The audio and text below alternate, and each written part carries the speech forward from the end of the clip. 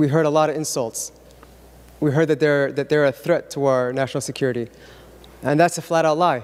According to DHS, Madam President, the greatest domestic threat facing the United States comes from, quote, racially or ethnically motivated violent extremists, specifically, specifically those who advocate for the superiority, superiority of the white race, not our immigrants. I feel like I was just called a racist white man. That's not appropriate.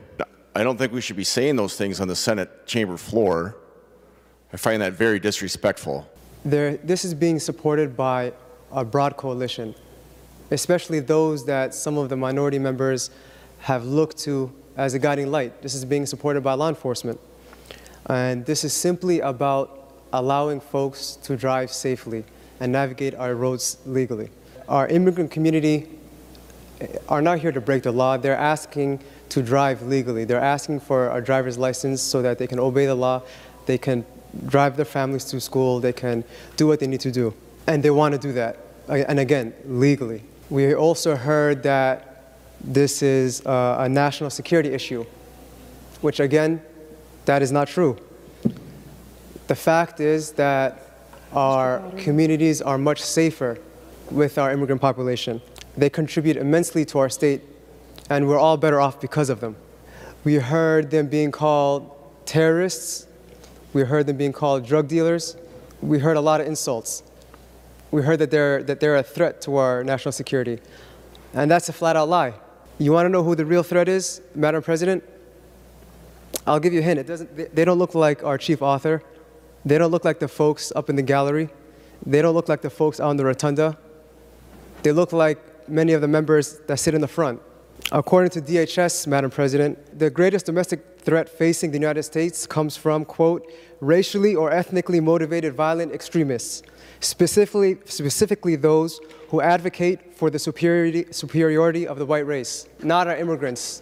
We are safer and we're better off because of them. I'm not going to go back and debate everything that was talked about tonight, but that was not called for. Um, we didn't call anyone terrorists. We said that we're afraid that this could lead to that. We're not calling a group of people terrorists. We're, we're not saying that they're going to create these acts. We're just looking out for everybody. I'm not confident that we don't have people in our midst that are terrorists that may want that driver's license. Millions are pouring across. There's no way of vetting them. And uh, terrorists can come across, come to Minnesota, get a driver's license, get on an airline, and uh, fly off in an airplane. People who are U.S. citizen also commit crimes. It's not just immigrants. There are bad people everywhere. And when someone does something wrong, we should hold them to the full extent of the law. And I'm with you on that. I too want to protect our national security. I too am a US citizen. I also care about these things. But I also care about the people who are fighting to follow the law so they can drive. They are asking us to not drive illegally.